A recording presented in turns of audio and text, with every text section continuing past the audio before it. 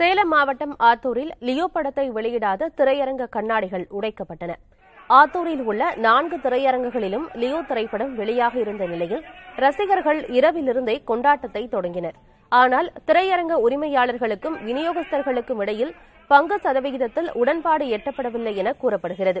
அதனால் லியோ திரைப்படம் இன்று திரையிடப்படாது என திரையரங்குகள் தெரிவித்தன.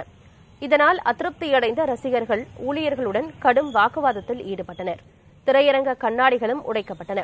அங்கு வந்த காவல்துறையினர் ரசிகர்களை சமாதானப்படுத்தி திருப்பி அனுப்பினர்.